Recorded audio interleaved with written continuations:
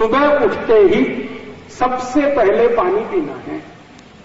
अब वैसे तो आयुर्वेद में इस सूत्र में जो शब्द इस्तेमाल किया गया है ऊषापान ऊषापान का मतलब होता है सुबह सुबह जब आप चार, साढ़े चार बजे उठते हैं, वो समय जो है, उषा का समय कहलाता है। उषा काल उषा काल उषा काल में पिया हुआ पानी उषा पानी तो वैसे तो आदर्श है कि सुबह आप साढ़े चार, पाँच बजे उठें और उठते ही पानी पिए। लेकिन अगर आप नहीं उठ पाते हैं साढ़े चार, पाँच बजे तो जब उठें, उठते ही पानी पिए। माने आपके दिन की शुरुआत पानी से करें। महत्व की बात है वो ये। आपका दिन शुरू होना चाहिए पानी के साथ। चाय से नहीं, कॉफ़ी से नहीं, दिन शुरू होना चाहिए पानी के साथ। उठते ही पानी पिए। और पीने का तरीका मैंने पहले बता दिया, सिप सिप करके, थोड़ा थोड़ा करके पिए। ठंडा पीना नहीं है, घड़े का पी सकते हैं, नहीं तो सादा पानी पिए। पानी सुबह उठते ही पीना है। अब आप बोलेंगे, जी, कितना पिए? तो आयुर्वेद तो कहता है कि कम से कम सवा लीटर। सवा लीटर। सवा लीटर माने कम से कम चार गिलास। आप बोलेंगे, जी, हमारे बस का नहीं है। तो आप ऐसा करिए, एक गिलास से शुरू करिए। एक। पहले एक गिलास पीने की आदत डाल दीजिए। थोड़े दिन में आदत पड़ जाएगी। शरीर ये जो है ना, इतना फ्लेक्सिबल है कि आप इसको जैसी आदत डालो, वैसी ही पड़ जाती है। तो एक गिलास से शुरू करिए।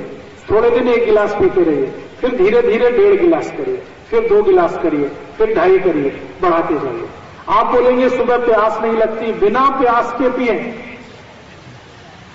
उठते ही पानी पिए इसके दो बड़े कारण हैं। पहला कारण क्या है? रात्रि को जब आप सो गए तो मुँह में जो लार बनी, वो अंदर नहीं गई। वो इधर उधर जमा है। उठते ही आप पानी पिएँगे तो ये अंदर जाएगी।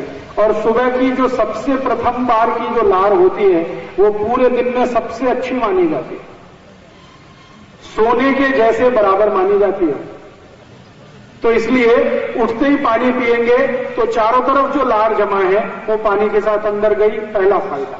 दूसरा फ़ायदा ये है कि सुबह मैंने आपको पहले बोला था ना, ध्यान दिया, कि सुबह का समय वायु का होता है। सुबह का समय वायु का प्रकोप शरीर को होता है।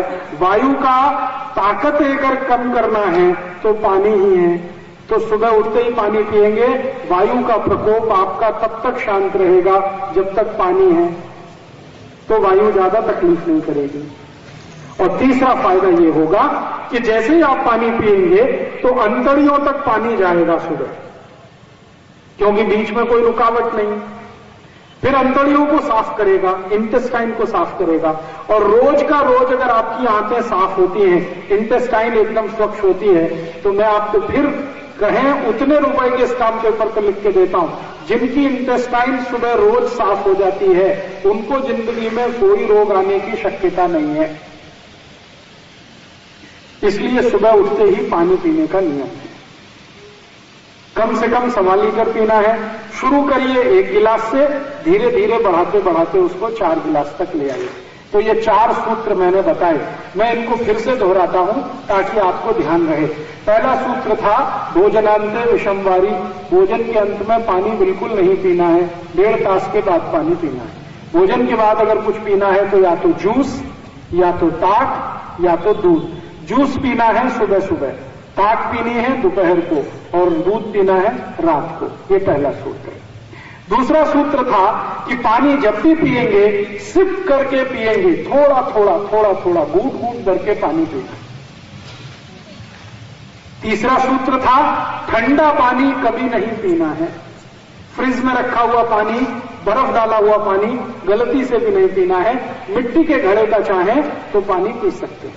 और चौथा सूत्र जो आज के दिन का आखिरी सूत्र है, वो ये कि सुबह सुबह उठते ही पानी पीना, शायद मैं भूल रहा हूँ। पहला सूत्र, भोजन के डेढ़ तास बाद पानी पीना पीना है कुछ तो दूध रात को, ताक, दोपहर को, जूस सुबह।